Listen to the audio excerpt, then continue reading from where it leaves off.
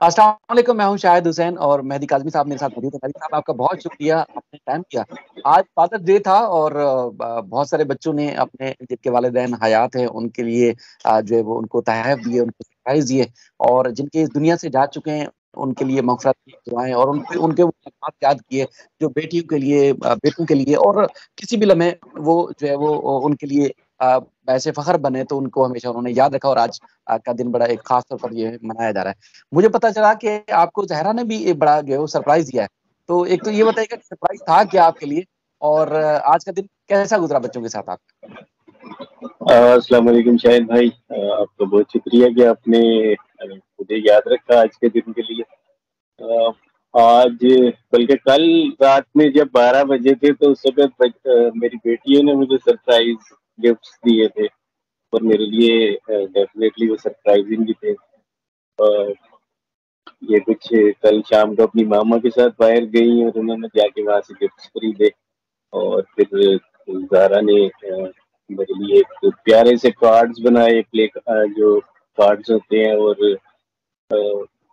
वो मुझे प्रेज़ेंट किए बड़े प्यार के साथ। तो बहुत ज़्यादा अच्छा लगा और मुझे वही दिन जो मतलब पिछले साल मुझे याद है कि मेरी बेटी मेरे पास नहीं थी तो मुझे याद है कि वो कितना मुश्किल दिन गुज़रा था। तो उससे पहले जब वो मुझे गिफ्ट दिया करती थी मेरी बेटियाँ, वो मैं अपनी ये जो रूम है वहाँ पे लगा दिया करता था। तो वो यकीनन उसमें एक बड़ा शानदार इज़ाफ़ा है। सर यकीनन ये अ, 18 जून को पिछली जब साल 18 जून था तो आपको हम अदालतों के चक्कर लगाते देख रहे थे, कभी किधर, कभी किधर, कभी किधर, दिन-रात। तो बच्ची ने किसने कौन-सी बेटी ने क्या गिफ्ट दिया आपको और कुछ आपके पास करीब है तो आप दिखाना चाहेंगे? अ, शाहिद भाई मैं इस वक़्त अपने घर पे नहीं हूँ। अच्छा।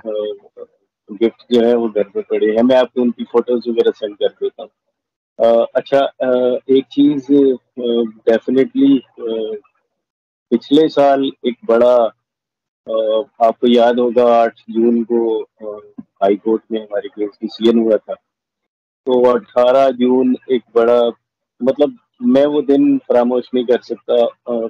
उस दिन के हवाले से मुझे एक चीज़ याद है कि एक हमारी एक सेलिब्रिटी है यमुना ज़ैदी। उन्होंने एक ट्वीट की थी मेरे लिए और वो मुझे यकीनन मेरे लिए एक आप ये कह लें कि मेरे लिए एक उम्मीद की किरण जिस तरह होती है उस तरह बनकर वो वो वो रही। तो मैं आज उनका शुक्रिया भी अदा करूँगा कि उन्होंने पिछले साल मुझे फादर्स डे पर याद रखा। तो आपने ये नहीं बताया कि मिला क्या-क्या आपको? क्योंकि अक्सर जो है ना छोटे बच्चों को हमेशा तंग किया जाता है कि आप ये तो बताएँ कि मिला क्या? ज़हरा ने मुझे एक प्यारा-सा परफ्यूम दिया और एक बहुत अच्छा कार्ड उसने बनाया और छोटी बेटी जो है, सकीना, उस, उसने भी एक कार्ड और बॉल पॉइंट्स जो ये मकान करता हूँ वो लेकर आई थी। और यकीन करें, रात में 12 बजे इन्होंने जब मुझे ये गिफ्ट दिए तो मेरे लिए मेरी आँखों में आँसू आ गए, क्योंकि बिल्कुल एक अजीब-सी कैफ़ियत थी। लेकिन मैं अल्लाह ताला का शुक्र अदा करता हूँ और यकीनन मैं इसमें एक दफ़ा फिर आप सब लोगों का, पाकिस्तान के और पाकिस्तान से बाहर सब लोगों का शुक्रिया अदा करता हूँ, जिन्होंने अपनी दुआओं में हमें याद रखा और आज हमारे घर की वो खुशियाँ जो हैं वो वापस आई हैं। आपको सहाफ़ी बरादरी, यकीनन इनका बड़ा किरदार है। अ, जिब्रान नासिर मैं तो मेरा ख़्याल है कि जिब्रान भाई को तो आज ज़हरा ने एक मैसेज भी भेजा सर, क्या पैगाम भेजा? जी, जिब्रान भाई को दुआ ज़हरा ने यही कि वो जिब्रान भाई जो है वो उसके जो बड़े भाई एज़ अ फ़ादर हैं उसके लिए फ़ादर फ़िगर हैं और उसके सेवियर भी है तो जिब्रान भाई को भी ज़हरा ने फादर्स डे का विश किया। बल्कि ठीक है, अच्छा आज हम। बल्कि आज हम। जाना भी चाह रहे थे लेकिन एक फ़ैमिली की के साथ हमें जाना पड़ गया। इस जगह पे तो आज जा नहीं पाया इसलिए कि यकीन हम जितान भाई के पास आज हमारा जाना था। सर दूसरा ये है कि माशाल्लाह बहुत अच्छा टाइम गुजर रहा है। जिस तरह बात होती रहती है, जिस तरह बच्ची की स्टडी भी शुरू हो चुकी है और जिस तरह बहुत सारे लोग तो ये दावा कर रहे थे कि देखिए जी पत्नी तीसरी क्लास में थी, पत्नी कौन सी क्लास में? तो जिस तरह पता चला कि माशाल्लाह आठवीं क्लास में इम्तिहान पास करने के बाद उसको एडमिशन मिला था। तो स्टडी कैसी जा रही है बच्चे की? स्टडी बहुत अच्छी जा रही है जी। जो क्लास सेवन थी मैंने पहले भी रिपीट किया है। आज आज फिर मैं बता रहा हूँ कि क्लास सेवन उसने घर के अंदर ही अपनी कंप्लीट की। ट्विटर्स जो आते थे।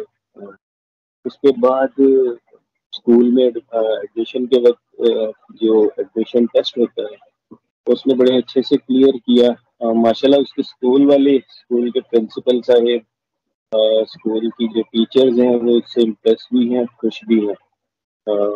और इंशाल्लाह स्कूल में बड़े ब्राइट नंबर से इंशाल्लाह पास भी होगी और अपना फ्यूचर भी ब्राइट बनाएगी। और उसका दावा और उसका वो भी यही है कि वो ना सिर्फ़ अच्छे नंबरों से पास हो, बल्कि पाकिस्तान में रखते हुए, पाकिस्तान की किसी आला जैसे मुझे वो ये कहती है कि मैंने बाबा क्योंकि हमारा बैकग्राउंड जो है, हम मेरे बहुत सारे relative Pakistan army Pakistan navy वगैरह से रिलेटेड है।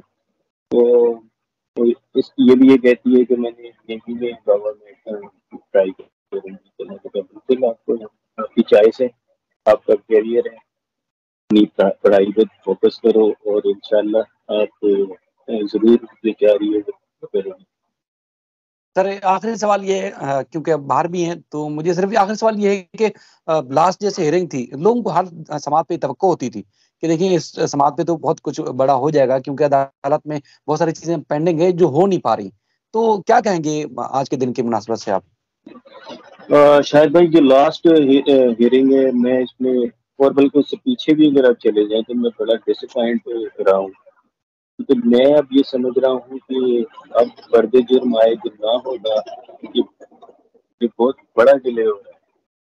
और जो पाकिस्तानी अनफॉर्चुनेटली जो हमारा अदलिया का निज़ाम है, इसके अंदर इतने सुकम हैं कि जो कल्प्रेट्स होते हैं, वो उसे यूज़ करते हैं लूप होल्स जो है, और जो निज़ाम अदल है, उसे डिले करते रहती है। मैं, पाकिस्तान की मौजूद अदलिया से भी ये रिक्वेस्ट करता हूँ कि अब मजीद इतनी सारी डिले वाली हर चीज़ जब सामने आ चुकी है जो भी है उसको अब अब ट्रायल शुरू होना चाहिए, फ़र्ज़ जुर्म आयद होनी चाहिए, ताकि जो है वो आगे ट्रायल चले उसके बाद मुलजमान को सजा भी हो पूरा जो भी निज़ाम है, वो अपना प्रोसीजर तो स्टार्ट करिए अभी अनफॉर्चुनेटली आपके सामने है कि एक साल दो महीने से ज़्यादा का टाइम हो गया है। अभी तक अनफॉर्चुनेटली मुलजमान की फ़र्ज़ जुर्म आयद नहीं हो सकी तो डेफिनेटली मेरा ख्याल है कि ये बहुत ज़्यादा डिले है। अब मैं ये चाहूँगा कि अब जो नेक्स्ट हियरिंग है, इसमें फर्द जुर्म मुलजमान के आयद हो, ताकि उसके बाद ट्रायल स्टार्ट हो बिल्कुल, चलें, इंशाल्लाह ज़रूर होगा। उम्मीद है, क्योंकि देखिए इस तरह के केसेस अगर बर वक्त फैसले नहीं होंगे तो फिर ये काम रुकेगा नहीं। कई ऐसे बेटी, ऐसी बेटियाँ हैं जो फादर डे के मौके पर उनको अपने वालदेन के साथ होना चाहिए था, लेकिन वो बाप की शफकत से महरूम है और मुलमान के जंगल में है। और कई ऐसी हैं जो कोई शेल्टर होम है, कोई दारुलमान में, कोई कहाँ धक्के खा रही है, कोई कहाँ धक्के खा रही है, और हैं सारी बच्चियाँ मैनर।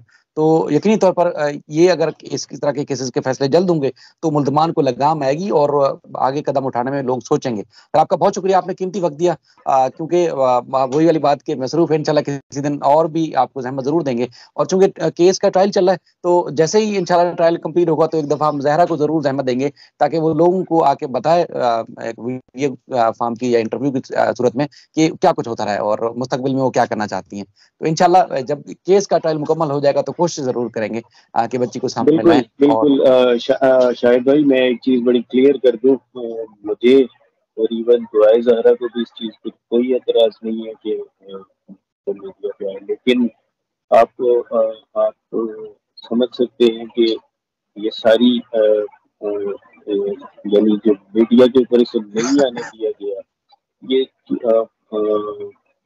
हाई कोर्ट के ऑर्डर की वजह से ऐसा हुआ था। लेकिन आ, मैं खुद ये चाहूँगा वो भी यही चाहती है कि वो एक दफ़ा आए और आकर अपना अपनी फीलिंग्स एक्सप्लेन करें। बिल्कुल सर बहुत शुक्रिया।